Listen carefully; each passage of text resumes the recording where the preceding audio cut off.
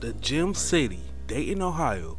When you talk about R&B, Dayton has some history of producing bands like Lakeside, Heatwave, Zapp, Faze-O, and Slave. Dayton is also the home to other celebrities like Katt Williams and Ron Harper to name a few. But it was this one group that put Dayton on the map. This group made Ohio known. This group is the Ohio Players. Now, let's cue that intro.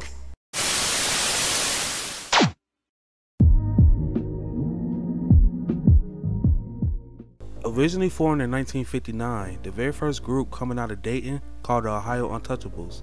The members was Robert Ward, Marshall Jones, Clarence Satchell, Cornelius Johnson, and Ralph Pee Wee Middlebrooks. The groups had a record deal with Lupine Records out of Detroit, Michigan. Now, Robert was the group's leader and frontman. While they would perform, if he didn't like the crowd, he would just walk off stage, forcing the other members to stop performing. This would build up tensions with the group members, and one day in 1964, while performing, Robert would walk off stage again. But this time the group didn't follow. They was tired of his actions and they continued to perform. Afterwards, Robert and Marshall would exchange words back and forth, and they would get into a fist fight. This caused the group to break up. Marshall, Clarence, and Ralph started their own group. They would grab drummer Greg Webster and guitarist Leroy Sugarfoot Bonner. Now, that they have their members, they would need to go find what type of music they was going to bring.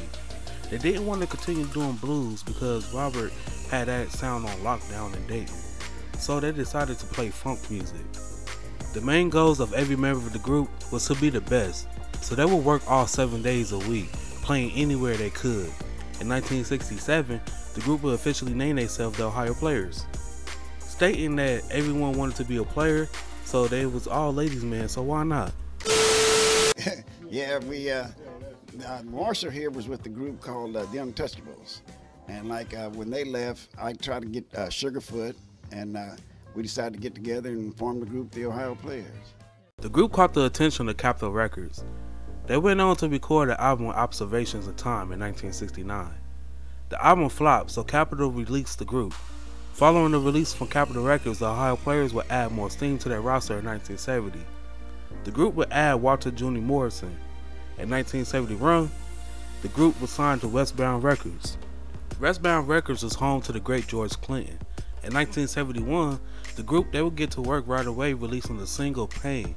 This single reached 35 on the R&B charts. Pain became the group's first song to be a top 40 hit.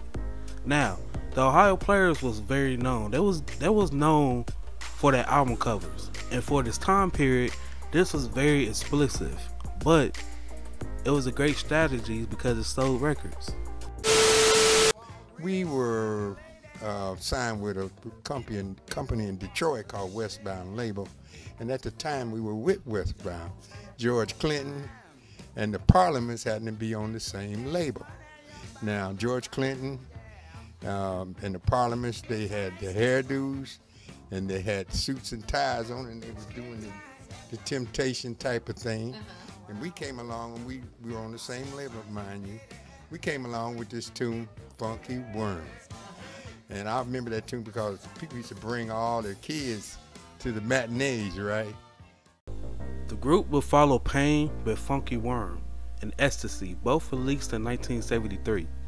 Now, Funky Worm reached 15 on the Billboard Hot 100 charts, and Ecstasy would reach 31 on the Billboard Hot 100 charts. In 1974, Joe McGregor Webster left the group due to declining health. He was replaced with James Diamond Williams. Fun fact when James joined the group, he was only making $25 a week. That's only $132 in today's money.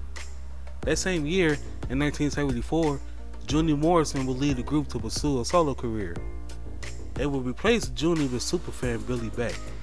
Now, when you think of the Ohio players' iconic lineup, they was Billy Beck, James Diamond Williams, Marshall Rock Jones, Leroy Sugarfoot Bonner, Marvin Pierce, Ralph Pee Wee Middlebrook, and Clarence Satchell. Satch became the group's leader as he did all the group's costume, choreography, you name it.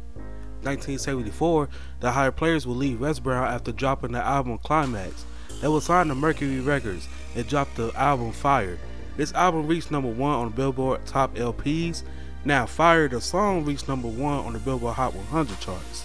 The Ohio players had the 70s on lock with their unique funk sound, as Skin Tight reached number 13 on the Billboard Hot 100 charts in 1974.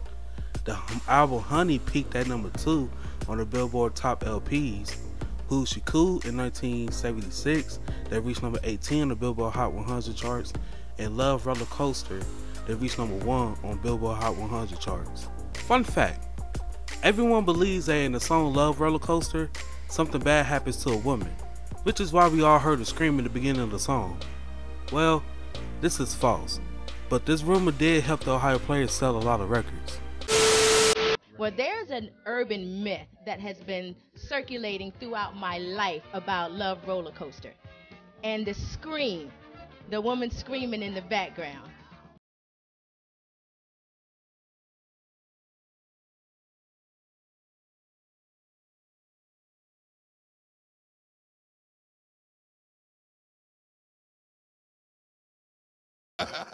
Now, with the group having some success, you may wonder who gets the credit for all this.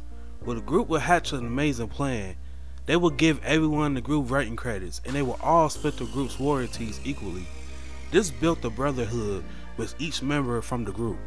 Fun fact, the Ohio players, they was known for giving songs and albums one name. They would put everything together from the guitars to the drums first. Then the very last step they would do was write the song.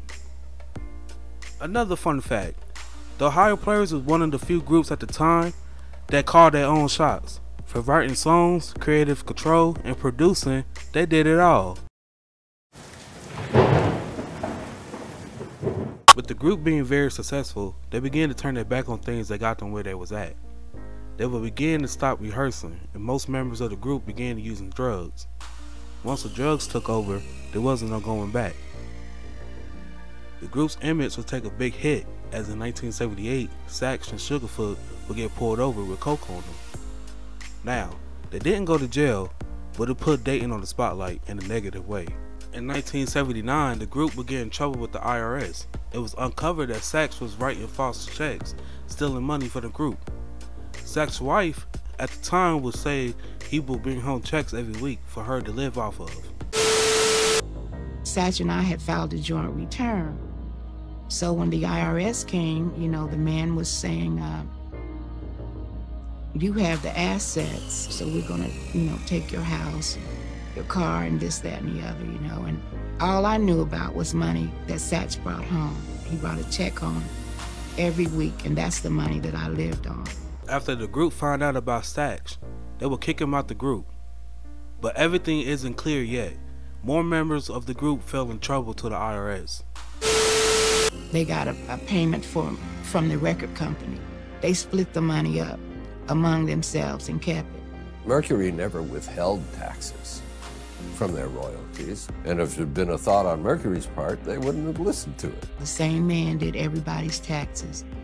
And when IRS came at them individually, they were charged with the money that they each did not report. The group will eventually part ways, making other forms of the Ohio Players. But the original Ohio Players was gone. The brotherhood of the group was gone. The Ohio Players got inducted to the Rhythm and Blues Hall of Fame in 2013, but as of today, they are not inducted into the Rock and Roll Hall of Fame. The Ohio Players inspired groups like Cameo, The Parliaments, Zapp, and many more. Their music is still playing in TV shows and movies today. And just to think, this group who did all this came from a little city named Dayton, Ohio. I would like to take a moment and give my condolences to all of the fallen members of the Ohio Players.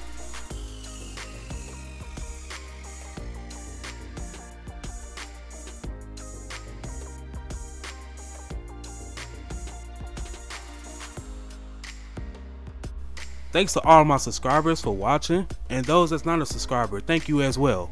If you like what you see and would like to see more, check out a few more videos. And until then, I'll see you on the next one. Peace.